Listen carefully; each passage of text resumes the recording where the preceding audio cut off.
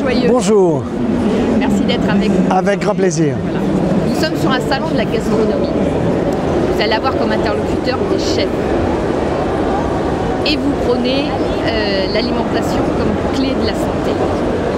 Donc qu'est-ce que vous avez envie de dire à ces chefs? Il vaut mieux un bon menu qu'une ordonnance. Et c'est effectivement l'important, c'est d'aller plus au resto qu'à l'hosto. Mais il faut qu'au resto, nous ayons une alimentation soit compatible avec un organisme humain tel qu'est le nôtre pour que nous restions en bonne santé. Donc la gastronomie pour moi est synonyme de santé et de se régaler. Nous avons un palais des saveurs. Vous voyez, je dis pas le mot bouche, je dis pour m'amuser que c'est pour se rouler des pelles. Alors que le palais des saveurs, vous avez une résonance fantastique. Le mot palais, qui est un mot anatomique, et en même temps un mot de beauté, et puis saveur. Nous avons des papilles de la langue que nous refaisons tous les 10 jours. Même si j'ai 100 ans, je refais les papilles de la langue tous les 10 jours.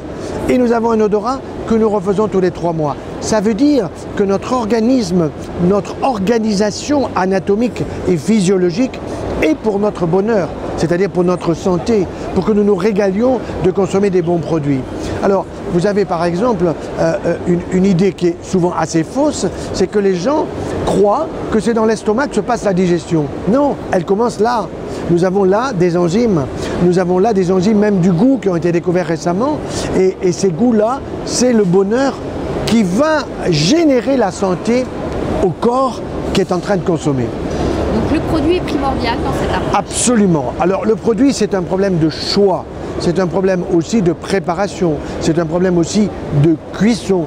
C'est un problème de présentation. Puisque nous avons des yeux et que parfois il suffit de regarder un plat pour qu'on ait une sécrétion salivaire qui démarre. Mais n'oublions pas que la sécrétion salivaire qui peut monter à un litre et demi, elle dépend de notre mastication.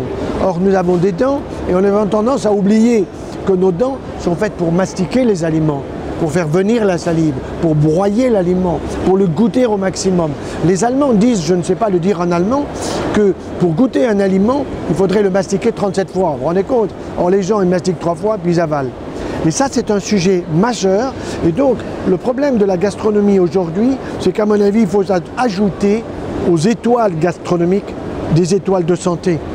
Et ça, c'est à nous, médecins, hommes de santé, à travailler en collaboration avec des gastronomes.